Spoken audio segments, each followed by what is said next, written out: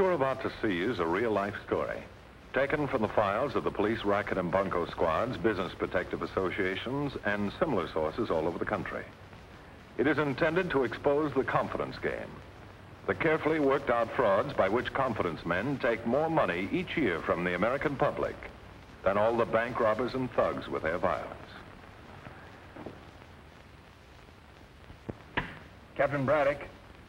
Captain Braddock. Ready. Working with the racket squad, I've arrested every type of swindler. And I've even had to handcuff ghosts. But I'm getting ahead of my story. I call this particular file Heaven for Sale. And that's exactly what the swindlers try to sell. An imitation bit of heaven. Contact with the hereafter. One rainy day a short time ago, a middle-aged man came into my office. Captain Braddock. Yes. Oh, want to get rid of these wet things? Thank you. Miserable weather, isn't it? Yes, I... I don't mind the rain. Fact is, I don't mind much of anything lately. You sound as though you're having a little trouble. Sit down, won't you? Thank you.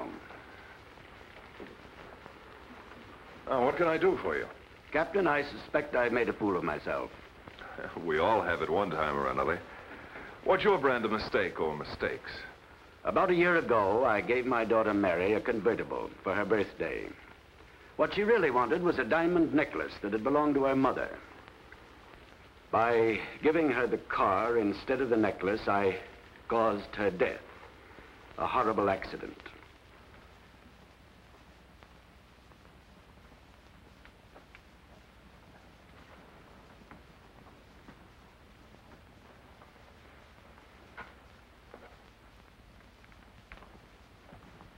Is there uh, anything you want before I go out, Mr. Blanchard? No, Katie.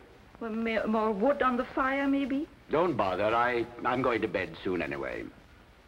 May I say something? Of course. I can't stand it any longer seeing you like this, grieving all the time. It's been nearly a year now. I can't help it, Katie. I, I keep blaming myself. If only I hadn't given Mary that car. But it doesn't do any good to reproach yourself. Let's not talk about it, shall we? By the way, this is the third night you've taken off this week. Where have you been going? I hope you'll understand. I have been attending seances. I thought it might be possible to contact Mary at a spiritualist meeting. I've wanted to find some way to console you. Sit down, Katie. You know, I don't take much stock in that kind of thing, Katie, but uh, tell me about it. Well, I didn't believe it myself at first, but now I haven't any doubt. I saw spirits materialized with my own eyes. How much did it cost? They said you could give anything you want for a donation. Most people gave two dollars, so I did too. Just throwing your money away. Oh, no. It was worth it. The medium was marvelous. She put her husband in a trance. They brought spirits into the room. I saw them myself, white and radiant. And they knew some of the people there. Actually talked to them. You're not going to tell me that Mary's spirit was among them. Well, uh, no. But I asked Mr. and Mrs. Carpin if... Who are they? The mediums. I asked them if they could materialize Mary, and they said they would try. They said it would be easier to reach her if you were present. At what price? Oh, they didn't say anything about money. Oh, Mr. Blanchard, why don't you come along and see for yourself if there is anything to it? I'm afraid I'd only be disappointed, Katie. But imagine, Mr. Blanchard, just imagine how wonderful it would be if you could see and talk to Mary's spirit. Very well. Just out of curiosity, I'll take you. Wait till I get my hat. Good evening. Well, I wouldn't miss this for anything in the world. We'll be with you in a moment. Good evening. I see you've brought a guest. Yes, this is Mr. Blanchard, my employer, Mr. and Mrs. Carlton. Good to have you with us, sir. Thank you. It's a pleasure to meet you. So nice of you to come. I understand you accept donations. I don't want to accept anything on your first visit. Well, it's about time for the meeting. We'll get chairs for you. Come right on in.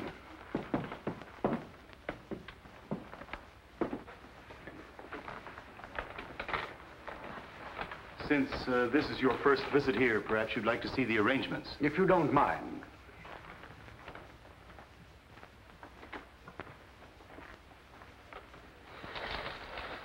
Step right in, Mr. Blanchard. We want you to satisfy yourself that everything is above board. The spirits that choose to favor us materialize in here. As you can see, no living person can get through this screen. Why, Mr. Blanchard, you appear somewhat skeptical. You're determined that no trickery is going to take you in. But everything so far looks all right, doesn't it? And Mr. and Mrs. Carpin seem like such a sincere, honest couple. Careful, Mr. Blanchard. In spite of yourself, you're beginning to weaken. Not much, to be sure. And yet you're willing to be sure. It looks all right to me. Thank you. This way, please.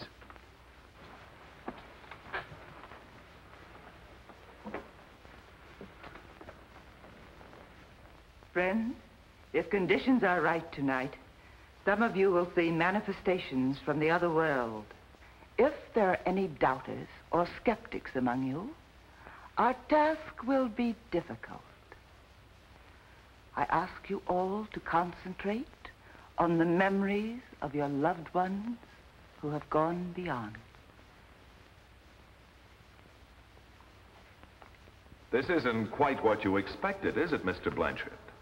Nothing suspicious so far, is there? But wait. Sleep. Sleep. That Simois. He get Sigia. Telos. An Egyptian control has taken possession of his body. He speaks in an ancient dialect of which I know only a few words. Can you give us names? Even first names of departed? Yes. Yes. Lies. No. No lie. Yes. No light. Light. He says yes, but he wants the lights extinguished. Concentrate, friends, concentrate. Think of those dear ones who have gone beyond.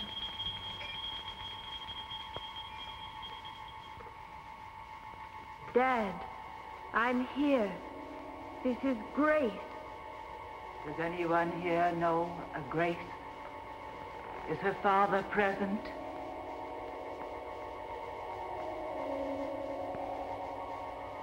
Wait a minute. She may mean me. I must warn you, don't touch her. But I, I can see her. What you see is ectoplasm. It comes from Mr. Carpin. To contact that ectoplasm with human hand would mean his death instantly. Grace, do you recognize me? Yes, I've been trying to reach you. I'm glad you did. Grace, what is heaven like? Peaceful. Like a lovely garden. I've often wondered what it was like. Father, I have a friend near me. She's trying to get through to someone here. Her name is Mary. My daughter says there's a Mary trying to reach someone. Ask her if it's Mary Blanchard. Yes, that is her name.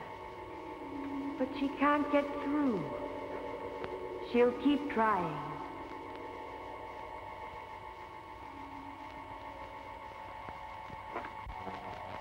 And now, goodbye, Father. I'm being called back. Goodbye, my dear one.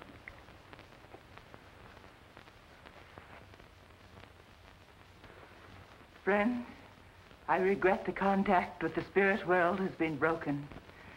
The control has left Mr. Carpin. He is coming out of his trance.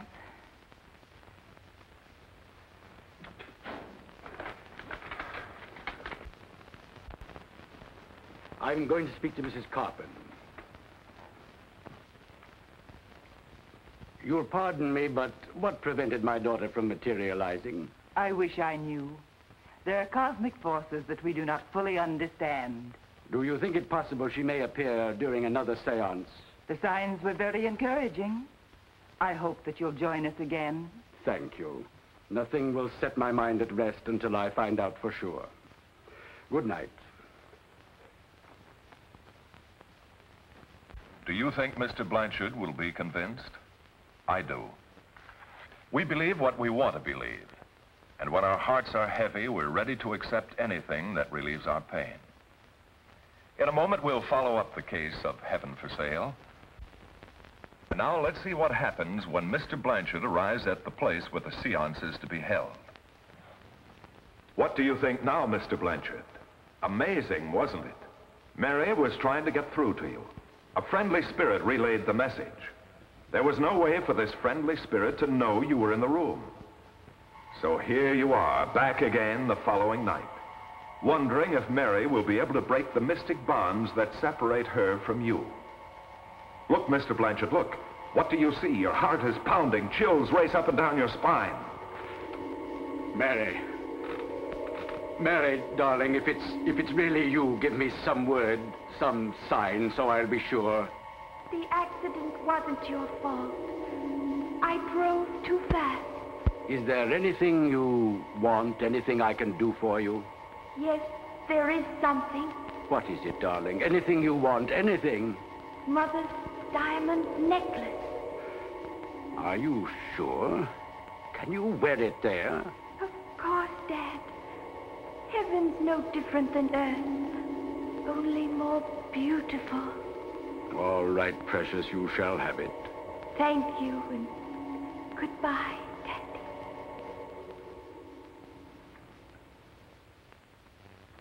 Now you're convinced, Mr. Blanchard. You've been back many times.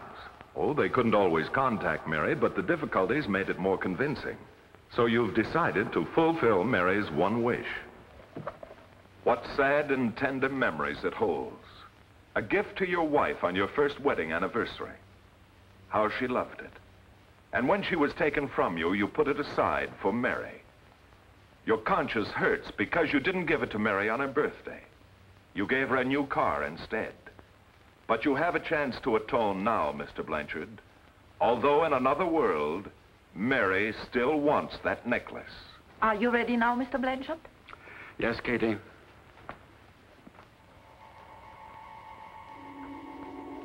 Dad, you're here. I've been waiting. Happy birthday, precious. I'm so glad you came. I brought something for you. Don't try to touch her. You'll break the spirit contact. But how can I give her the necklace? It's in my pocket. I'll release your hand. Hold it out to her, but don't try to touch her.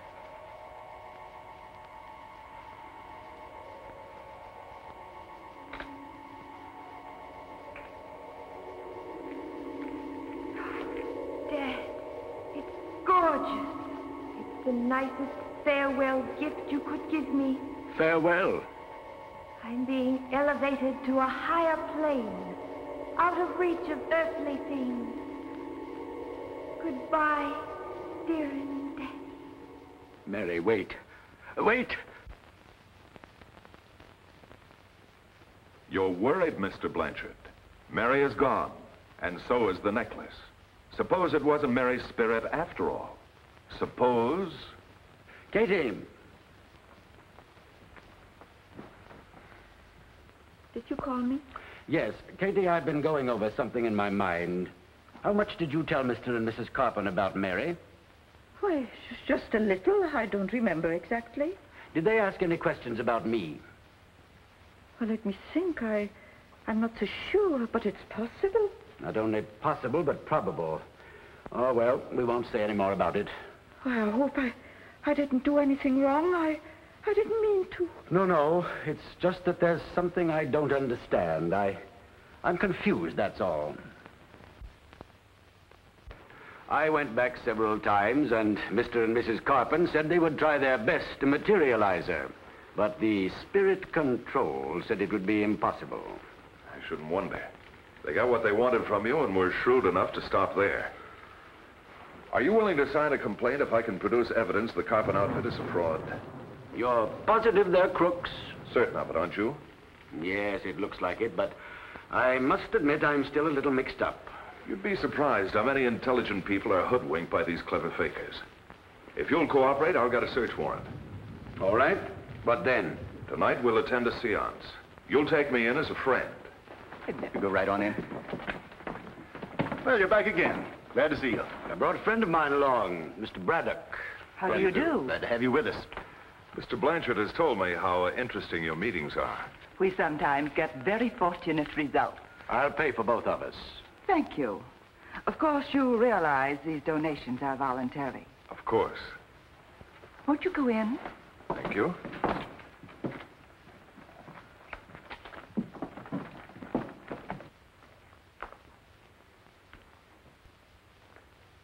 Friends, we will do our best to contact the spirit world tonight. And I hope there will be some manifestations.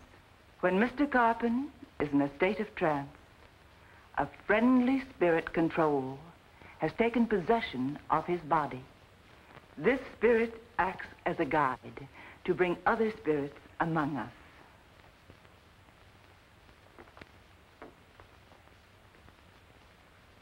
Your mortal consciousness is slipping away. Sleep. Me. Me, Chief Kuoku. We are about to begin. An Indian spirit control has taken possession. Once it was an Egyptian.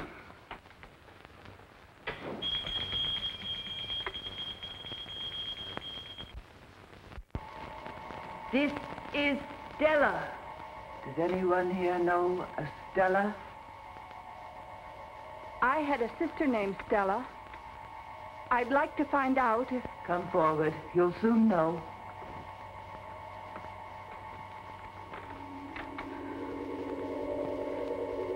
Was your last name Reynolds? Yes, dear sister. Have you seen Mother? I'm with her all the time. I'll tell Father. It will make him very happy. He's been quite ill lately. He mustn't worry. He'll be well soon. Oh, I'm so grateful. And now I'm being called back. Goodbye, dear. Shall I see you again? D- don't go yet.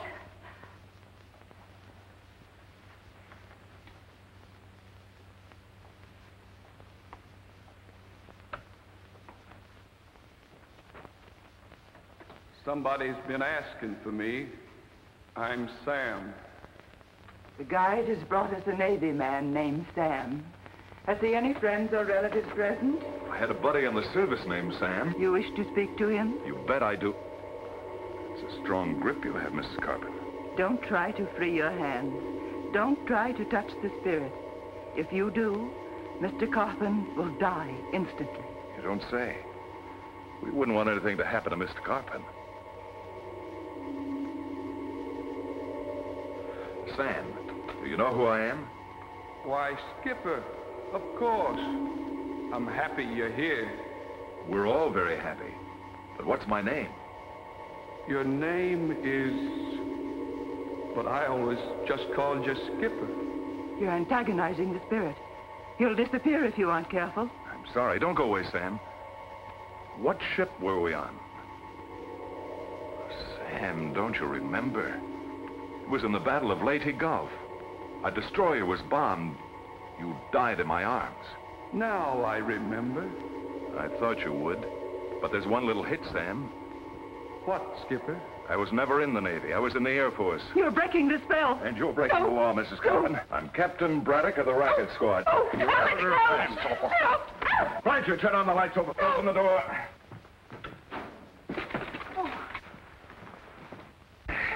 Thanks, Cody. There we are.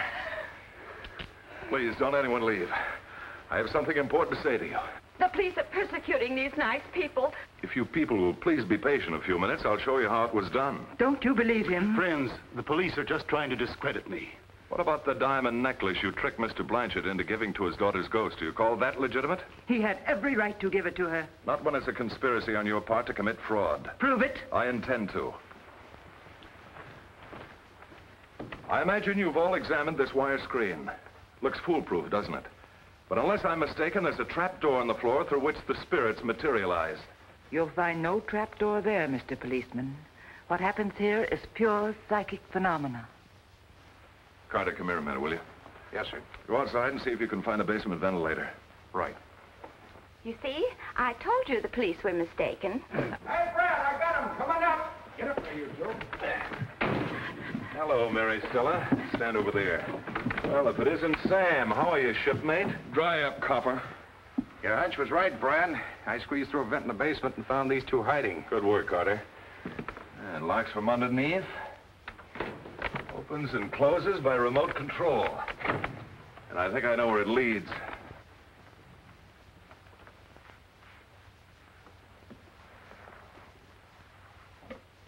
Oh, here we are.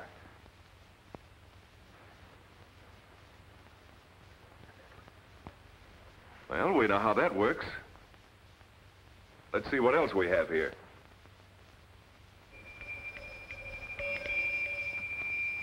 In the darkness, the direction from which sounds come is deceptive. And that's how our magic trumpet appeared. It's covered with ordinary phosphorus. Why, the cheap crooks, they had me believing the Tommy Rock. People who are bereaved are the chief victims of this racket. Let me give you a little demonstration of how it was done. Sergeant Carter, take Mary Stella into the alcove.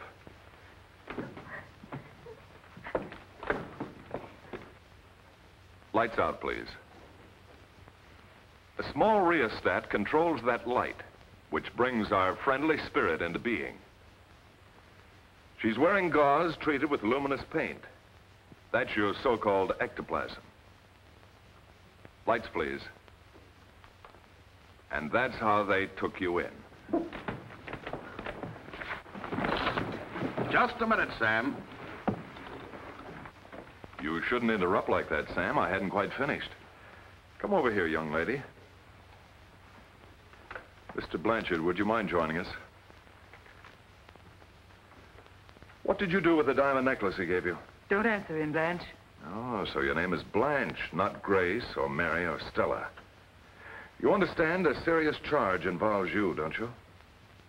If it's any of your business, I hocked it. What did you do with the money? I split it with Mr. and Mrs. Carpin. Shut your mouth, you silly little fool. What's the difference? They've got us, haven't they? My poor child, what got you into a dishonest thing like this?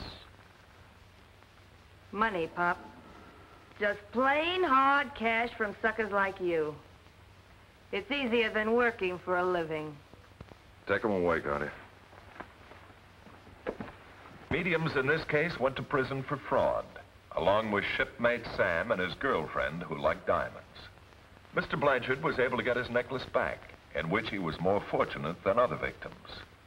But don't think that this cruel sham could only happen to the other fellow. If you get into the clutches of mediums, it could happen to you. I'm closing this case now, or rather the courts will, but there'll be others, because that's the way the world is built. Remember, there are people who can slap you on the back with one hand and pick your pocket with the other. And it could happen to you.